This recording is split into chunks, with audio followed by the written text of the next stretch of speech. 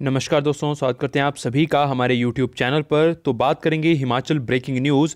तो स्कूलों से जुड़ी हुई एक इम्पोर्टेंट अपडेट आई है, जिसमें बताया गया है कि स्कूल कब से शुरू होने वाले हैं।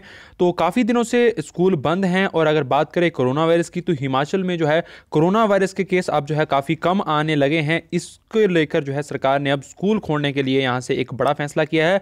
और सरकार अगर बात करेंगे एक अन्य फैसले की तो जितने भी अस्पताल हैं, उनमें अब जो है ओपीडी सेवा भी शुरू होने वाली है।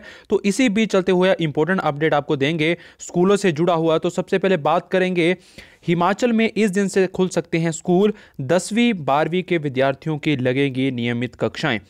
तो फ्रेंड्स, काफ़ी लंबा समय हो चुका है, काफ़ी ज़्यादा जो है कोरोना वायरस की वजह से स्कूली छात्रों का समय जो है, पढ़ाई भी ख़राब हुई है। तो ऐसे में जो है सरकार को अब ये फैसले लेने पड़ेंगे, जो है उनके पढ़ाई के लिए, क्योंकि बोर्ड के एग्ज़ाम जो है उनके सर पर हैं और दसवीं और बारहवीं की जो बोर्ड की कक्षाएँ हैं, उनकी अब जो है नियमित क्लासें लगने वाली हैं। तो देखिए, हिमाचल में 27 जनवरी से 10वीं और 12वीं कक्षाओं के विद्यार्थियों के लिए स्कूल खुल सकते हैं। प्रदेश में दोबारा स्कूलों को खोलने की शुरुआत ग्रीष्मकालीन पाठशालाओं से की जाएगी।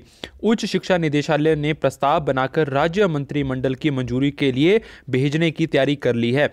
शीतकालीन जिलों के स्कूलों को फरवरी के पहले सप्ताह में मौसम की स्थिति को देखकर जो है खोलने का फैसला किया जाएगा, जो शीतकालीन स्कूल हैं। अगर ग्रीष्मकालीन पाठशालाओं की बात करें तो उन्हें जो है दोबारा खोलने के लिए सत्ताईस जनवरी से जो है उनके स्कूल जो दसवीं और बारहवीं के लिए है, वो खुल सकते हैं। और साथ में आगे अगर हम बात करेंगे, शिक्षा विभाग ने पड़ोसी राज्यों को एसओपी को स्टडी करने के बाद 27 जनवरी से नियमित पढ़ाई करवाने का फैसला लिया है। अधिकारियों का कहना है कि 21 जनवरी तक पंचायत चुनाव में शिक्षक व्यस्त रहेंगे। चुनाव प्रक्रिया पूरी होने के बाद स्कूलों को सैनिटाइज किया जाएगा 25 और 26 को सरकारी छुट्टी है। ऐसे में 27 जनवरी से ग्रीष्मकालीन जिलों में बोर्ड कक्षाओं की पढ़ाई शुरू करवाई जा सकती है और उनकी नियमित क्लासें लगाई जाएँगी, जो कि एक सही फैसला है। कोरोना वायरस की बात करेंगे तो अभी जो है कोरोना वायरस हिमाचल में काफ़ी नियंत्रण में है, काफ़ी कम केसेज आ रहे हैं तो इसी बीच जो है राज्य सरकार ने स्कूलों को खोलने के लिए यहाँ से फैसला किया है।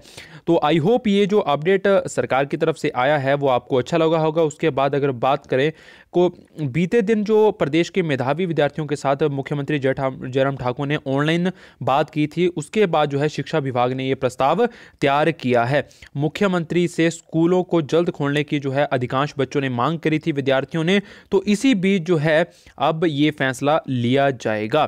तो 27 जनवरी से स्कूल खुल जाएँगे। अगर इस पर आगे जैसे ही कोई अपडेट आता है सरकार की तरफ़ से, कोई भी न्यूज़ अपडेट आता है तो आपको सबसे पहले अपडेट करवाया जाएगा। बने रहे हमारे चैनल के साथ और हमेशा की तरह वीडियो को एक लाइक ज़रूर करें। मिलते हैं नेक्स्ट वीडियो में किसी और बड़े अपडेट के साथ।